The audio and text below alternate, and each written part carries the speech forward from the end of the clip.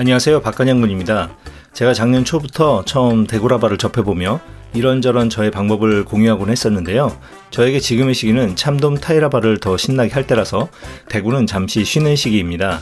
그래서 대구 낚시를 쉬는 동안 들여다본 어, 대구에 관한 공부를 공유해볼까 합니다. 그동안 좋은 선장님들의 실력만 믿고 대구라는 녀석을 만만히 보고 덤볐었는데 이것도 힘들 때는 좀 어렵기도 하고 해서 좀 더 디테일한 대응이 필요하게 느껴지더라고요. 그래서 공부를 좀 해봤습니다. 제가 찾아본 논문들은 영상 끝부분에 기재하도록 하겠습니다.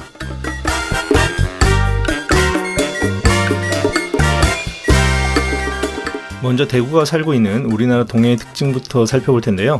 동해 연안 자망에서 채집된 어류 종조성의 계절 변동이라는 논문을 보면 우리나라 동해는 지형적으로 황해나 남해와는 달리 해안선이 단조롭고 대륙붕이 급경사를 이루며 대륙 사면에 연결되는 특징을 보이고 있다고 해요. 제가 주로 대구라바를 하는 동해 북부는 북한 연안을 따라 내려오는 저온, 저염의 북한 한류의 영향을 받고 동해 좀 남쪽인 경북 울진 지역은 동한 난류와 북한 한류의 영향으로 극전선을 형성하며 해유종의 분포가 달라지는 해역이라고 합니다. 동해 북부의 표층수온은 봄에 15.4도, 여름 25.4도, 가을 13.4도, 겨울에 7.2도로 변하지만 수심 300m의 저층소는 0.9도에서 1.1도 범위로 계절 간의 차이가 없다는 특징을 가지고 있습니다. 표층 연분은 여름의 강우의 영향으로 가장 낮고 봄에 제일 높다고 하고 저층 연분은 거의 영향을 받지 않습니다. 동해 중부의 표층수온은 대동소이 하나 저층수온은 114m에서 측정했을 때 여름에 3.2도, 가을에 2도, 겨울은 3.5도, 봄에 2.8도로 오히려 겨울에 증가하는 모습을 보였네요. 역시 바닷속의 계절은 육지와 반대라는 말이 맞아 보입니다.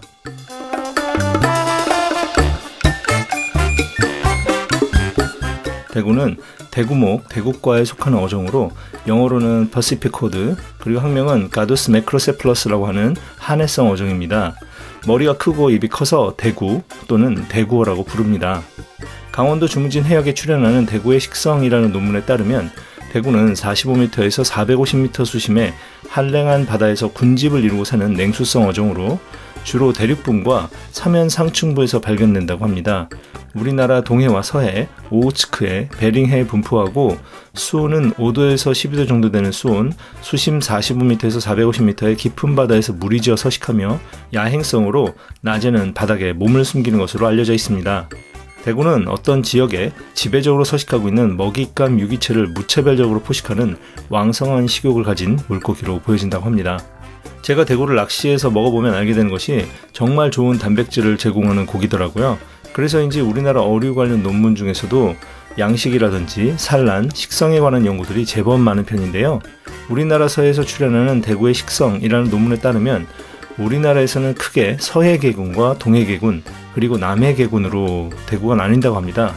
그리고 어업으로만 따지면 우리나라에서의 대구는 동해에서 평균 27.7%가 어획되고 남해에서는 평균 39.8%, 서해에서 평균 32.5%가 어획된다고 하네요. 하지만 체장으로는 동해계군의 체장이 제일 크다고 하니 낚시로는 동해계군 쪽이 더 의미가 있겠네요.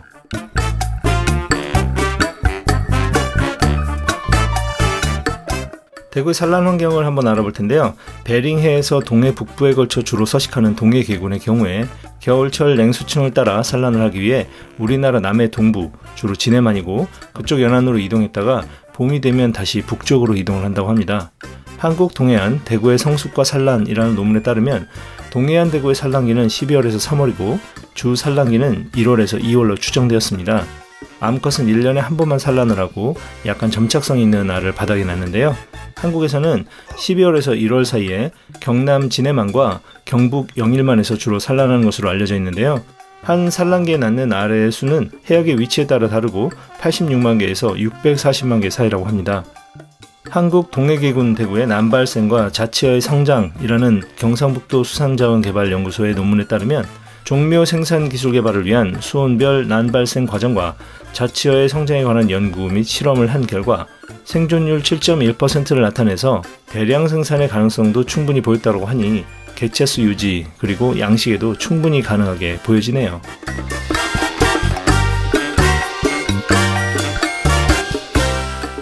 자, 대구 낚시를 하는 입장에서 제일 중요하게 보이는 부분은 바로 식성에 대한 부분이죠. 루어로 낚시를 하는 제 입장에서는 어떤 베이트류를 고려해야 하는지가 궁금해서 찾아본 논문들이기도 하거든요.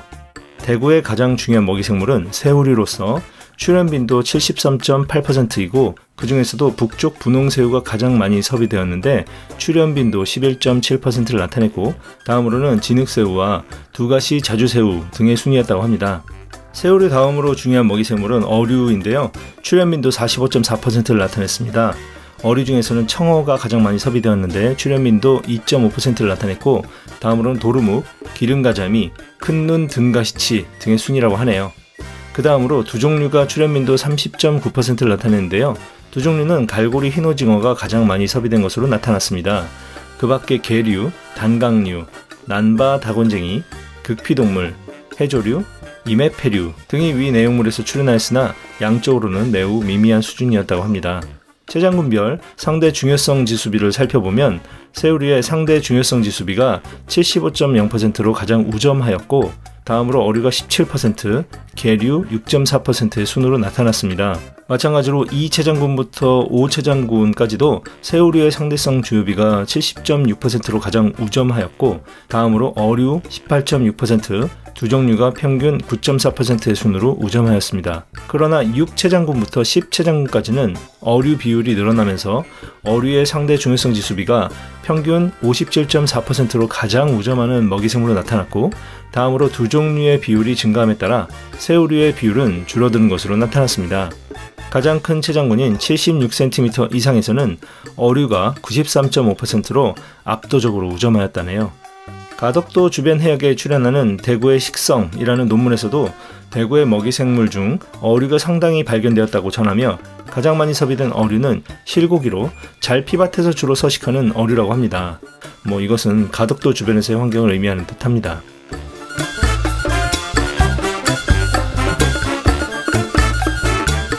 자 그리고 낚시에 있어서 도움이 될 만한 것이 바로 계절별 먹이인데요.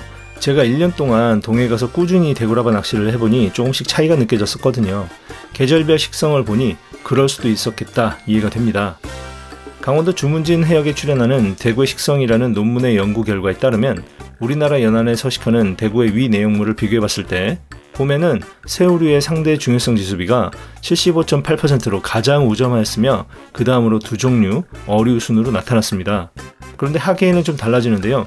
두 종류의 상대 중요성 지수비가 40.5%로 가장 우점하였으며 다음으로 새우류, 어류 순으로 나타났습니다. 그리고 가을에는 어류의 상대 중요성 지수비가 92.1%로 극우점하였으며 다음으로 새우류 두 종류 순으로 나타났고요. 겨울에는 어류의 상대 중요성 지수비가 42.8%로 가장 우점하였으나 새우류도 41.7%로 높은 수준을 나타냈습니다. 다음으로 두족류 11% 정도 순으로 나타나는데요. 아무래도 겨울에는 깊은 데로도 많이 이동을 하니까 새우류도 높은 수준을 나타내는 듯 합니다. 자 이렇게 match the bait의 기준으로만 봐도 여름에는 타코류의 bait가 유효하고 나머지 계절에는 어류를 기반으로 한 루어의 세팅이 유효할 것으로 보여지는데요. 저는 타이라바 조법을 쓰기 때문에 아직까지 새우류에 대한 고민은 해본 적이 없으나 시도해볼 만한 가치는 있어 보이네요. 이런 새우리의 웜을 바늘에 살짝 끼워볼까 싶기도 합니다. 이게 통한다면 또 재밌겠죠?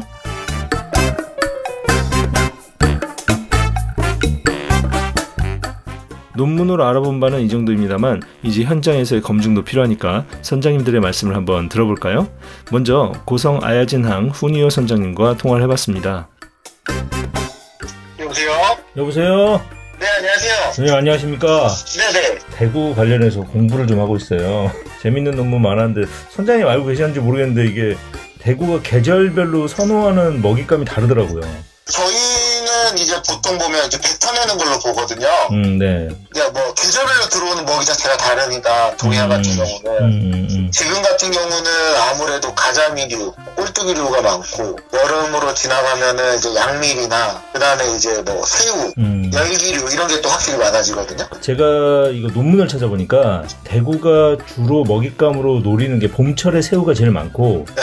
여름철엔 두족류가 제일 높더라고요. 그럴 수도 있어요. 왜냐면은 왜냐면 이제 두족류 같은 경우 문어가 이제 연안 산란 을 하니까 음, 음. 이제 light jigging 많이 들어가잖아요. 네네. 그게 막 50m, 60m 건 들어가는 게 그때가 이제 문어가 산란 끝나고 짱 문어들이 이제 그쪽으로 붙는 시기거든요. 음, 네, 음. 그거는 저희가 봐도 그렇다는 생각이 많이 들고 새우 같은 경우는 음, 이제 새우도 또 종류가 많아요. 이쪽은 음. 홍새우, 닭새우, 독도새우 뭐 종류가 되게 많거든요. 네네. 근데 지금 새우는 100% 곤쟁이가 많아요. 가을하고 겨울에는 주요 먹잇감이 어류로 나와요. 겨울성 어종들 있잖아요. 도루묵, 그 다음에 가자미, 네, 양미리. 네네네. 얘네는 이제 3종 세트라고 보시면 돼요. 겨울에는. 음, 네, 그것도 여기랑 동해랑 좀 맞아 떨어져요. 음. 어종 자체가. 근데 이제 꼴뚜기 같은 경우, 그러니까 두 종류라고 그래서 꼴뚜기는 좀 다르다고 보거든요. 제가 실내 꼴뚜기 같은 경우는. 음, 실내 꼴뚜기 같은 기본 80m에서 한 150m, 200m 거리만 살다 보니까 네.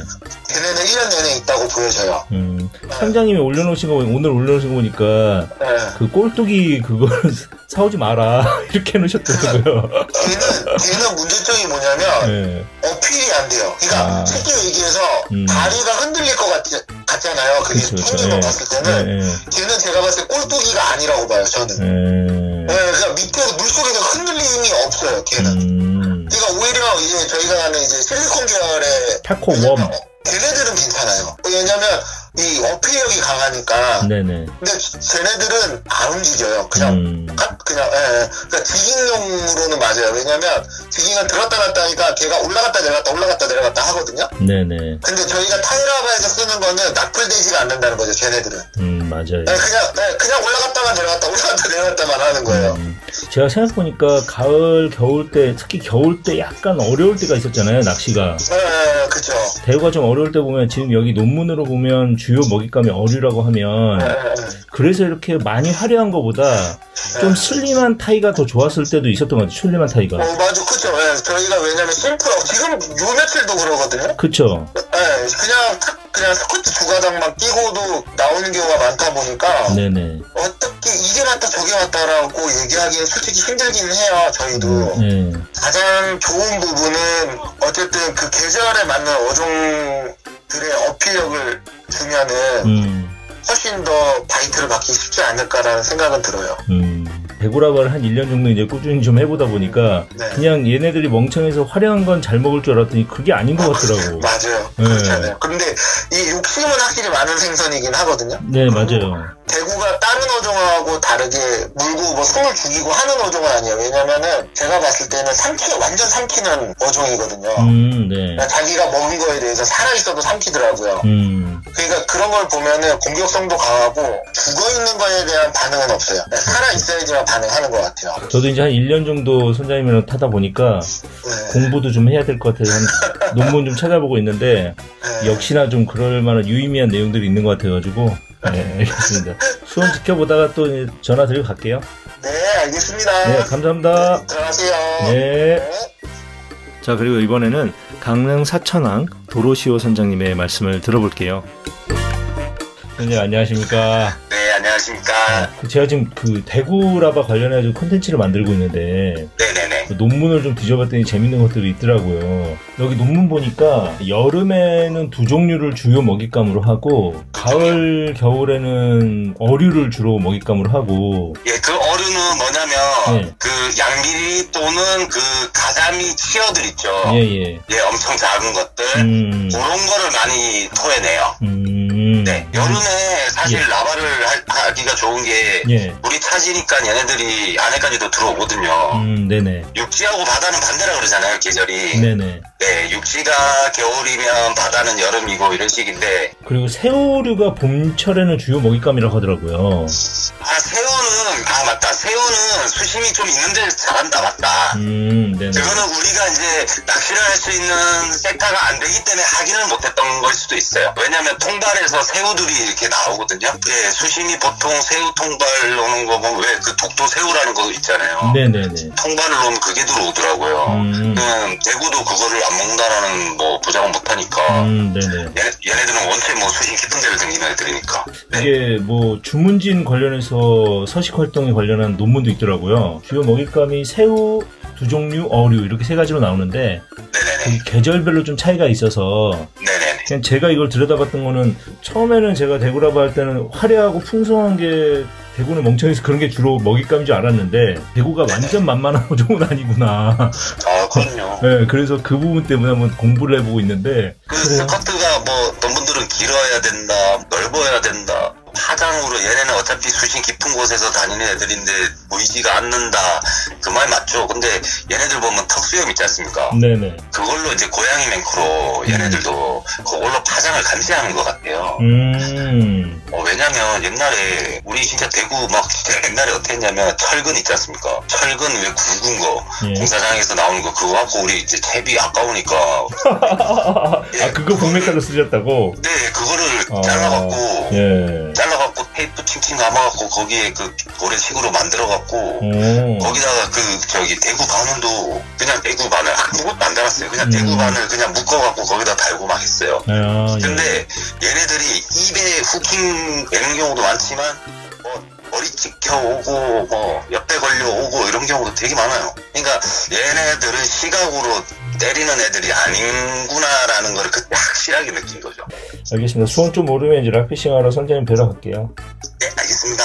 예, 뭐 알겠습니다. 다른 거 도움 될 게 있으면 전화 주십시오. 네, 알겠습니다. 감사합니다. 네. 예.